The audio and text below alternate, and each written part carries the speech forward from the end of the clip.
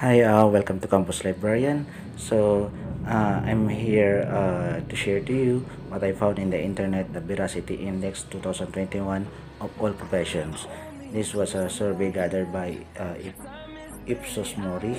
So, as I've seen here, the top uh, in-demand profession are the nurses, followed by the librarians, then uh, doctors, then teachers, and museum curators uh, followed by engineers.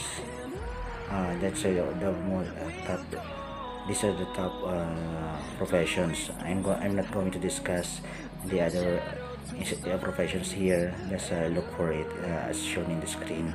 So what I'm trying to say is uh, uh, aside from nurses uh, nurses and doctors uh, one and first and third the, uh, that's the for medical professions and librarians, teachers, and museum curators are part of the uh, educational industry, which is uh, they're the one who facilitate the some uh, in the form of education.